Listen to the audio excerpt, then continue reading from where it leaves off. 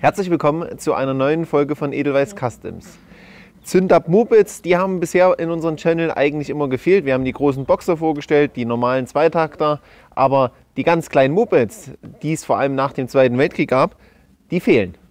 Das holen wir jetzt nach und wir fangen aber mit einem kleinen Tutorial an, beziehungsweise zeigen wir euch einen super schönen Vorher-Nachher-Unterschied. Und das Moped, das kann nicht nur als Moped relativ viel, sondern auch optisch.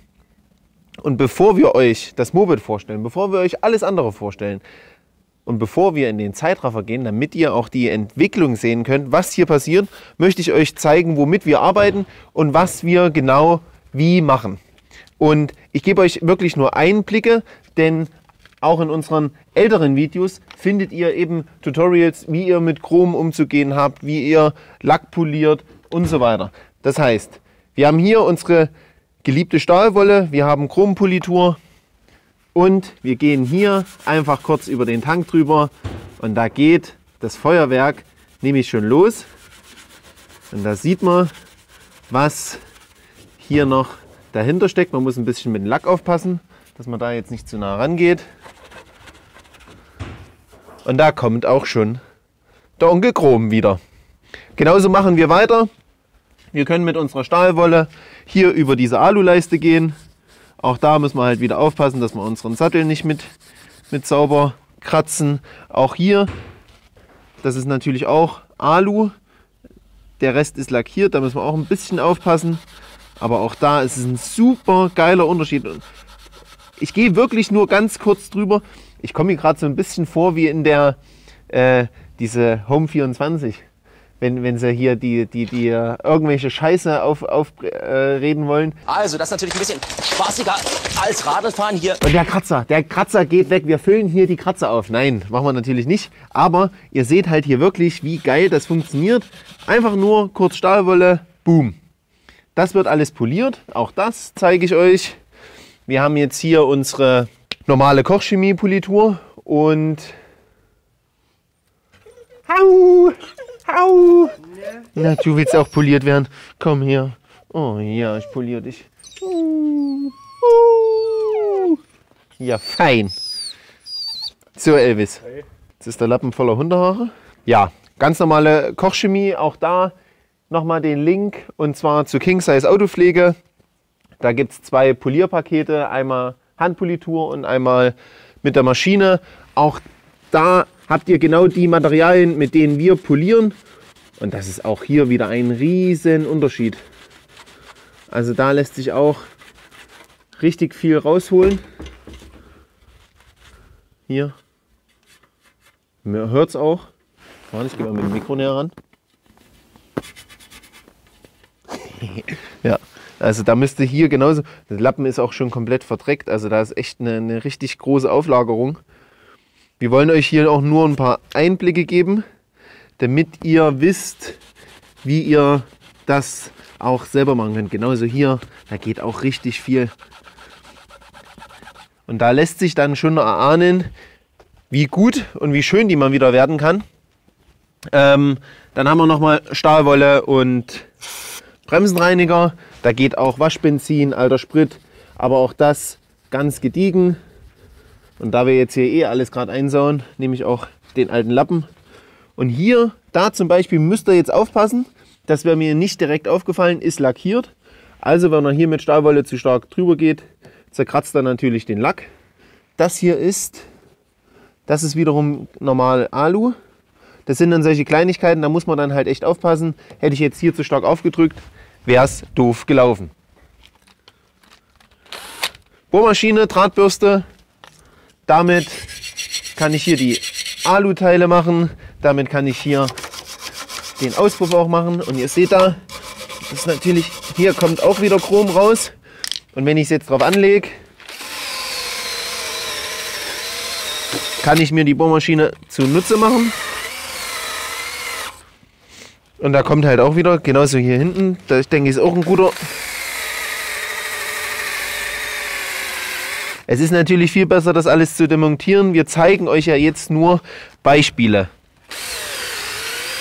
Damit ihr uhu, schon mal einen Vorgeschmack bekommt. Und das hier sieht nämlich auch schon sehr gut aus. Also da steckt echt noch richtig viel Feuer dahinter. Und das Ganze, das schauen wir uns jetzt mal an.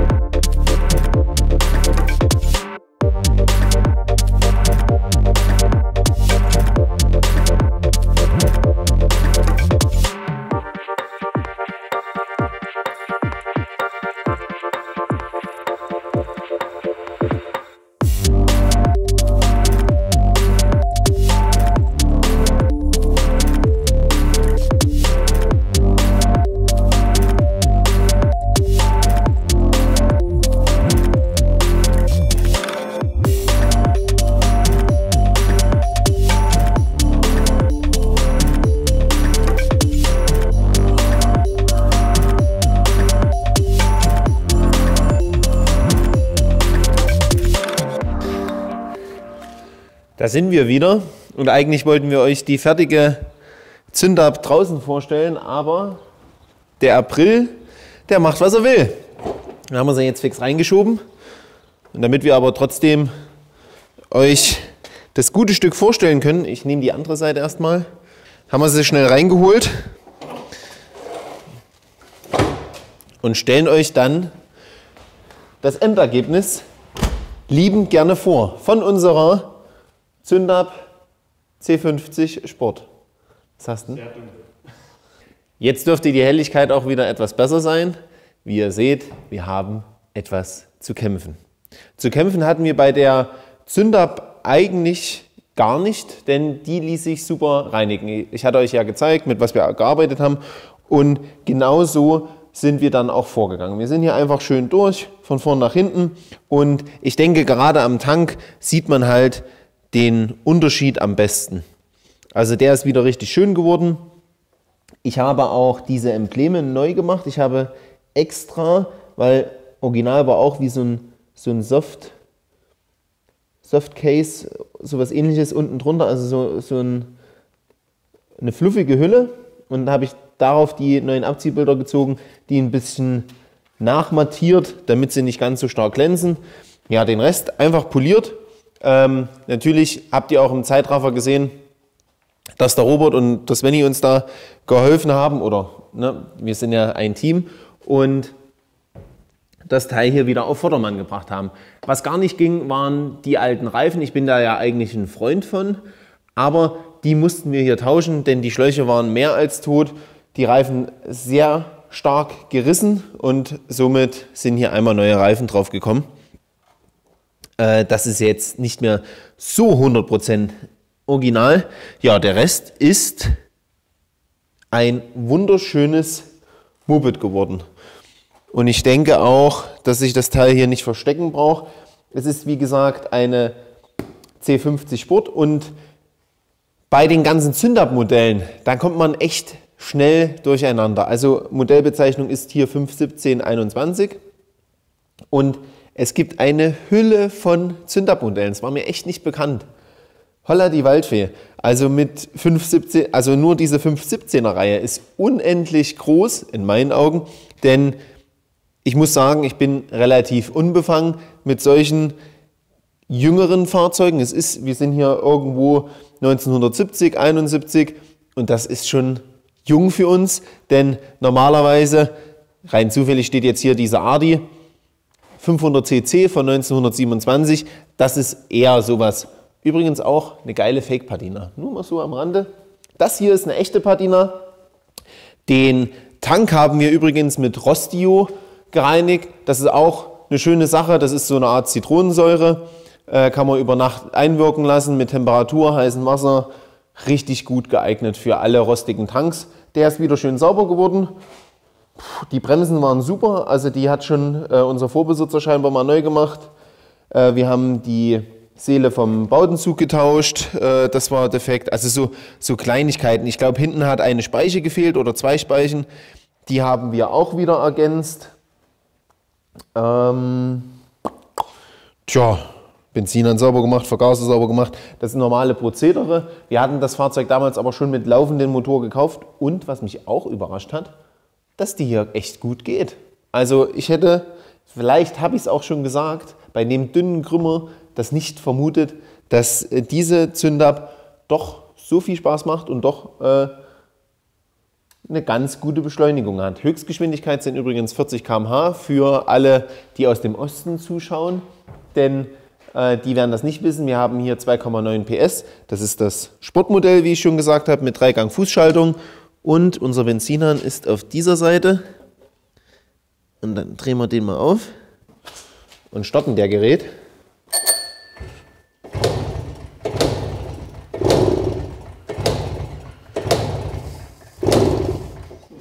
Wenn ich jetzt sage, die ist sonst immer beim ersten Tritt angesprungen, glaubt es mir wieder keiner. Aber was ich vergessen habe, ist zu tippen. Das ist so ein kleiner Vergaser. Das ist wirklich, also mein Finger ist größer vom Durchlass her. Und wenn man halt Simson gewohnt ist, kommt das einen hier schon sehr spielerisch vor, aber es funktioniert verdammt gut. Auch wenn der Einlass mini, mini winzig ist. So, zweiter Versuch.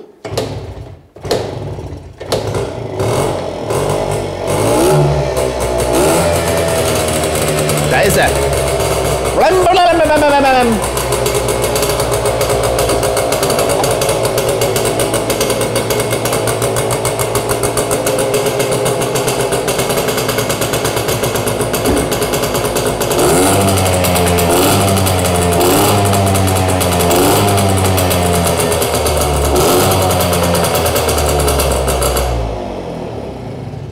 Schöne Knatterbüchse. Vor allem ist hier hinten halt echt auch nur so ein kleineres Loch. Also ich hätte nicht gedacht, dass hier doch so viel Sound aus dieser Büchse rauskommt und es macht halt echt Spaß, das Teil zu fahren. Schön ist er auch. Und schön ist auch, dass sie in den Osten gefunden hat. Äh, und das muss schon kurz nach der Wende passiert sein. Papiere sind leider nicht mehr vorhanden. Aber so waren die Aussagen, denn die stande jetzt alleine schon 25, mindestens 25 Jahre bei unserem Vorbesitzer, hier im Nachbarort in einer Scheune, ein echter Scheunenfund, kann man sagen. Und er hat es wiederum aus dem Nachbardorf von einem Bekannten, ich glaube damals sogar, geschenkt bekommen. Ja, Bordwerkzeug haben wir auch noch hier drin gefunden. Wir haben noch hier das schöne Händlerschild. Sowas gefällt mir natürlich auch sehr. Die Farbe ist auch super. Also ich hoffe, Ihr seid mit dem Endergebnis genauso zufrieden wie wir sind. Ist ein schöner Vergleich zwischen Fundzustand und gemachten Zustand und man sieht halt auch, wie viel und wie schnell man eigentlich hier was draus machen kann. Also ich sage mal so, jetzt rein für die Optik, das sind so ein bis zwei Tage und das lohnt sich allemal. Und in unseren Augen muss eben sowas auch nicht lackiert werden, denn das ist authentisch, auch wenn vielleicht die Schutzbleche schon etwas brauner sind. Aber das ist alles super stabil und ist ein sehr, sehr schöner Zustand. Das Einzige, was gemacht werden müsste, ist der Sitzbankbezug, wenn man damit fährt, denn da sind einfach die Weichmacher raus. Das ist brüchig, also da würde man mehr Schaden machen. So, in diesem Sinne haben wir das erste Mal ein Zündab-Moped, ein Zündab-Nachkriegs-Moped vorgestellt. Ein interessantes Teil. Ich hoffe, das ist nicht das letzte und ich hoffe, da finden sich dann auch noch weitere, damit wir vielleicht auch da mal eine Art Vergleich machen können und auch so die Entwicklung zeigen können. Vielen Dank fürs Zuschauen. Wir sehen uns beim nächsten geilen Bike wieder. Solltet ihr Fragen haben, ab in die Kommentare, genauso eure Meinung. Immer gern gesehen. Ciao.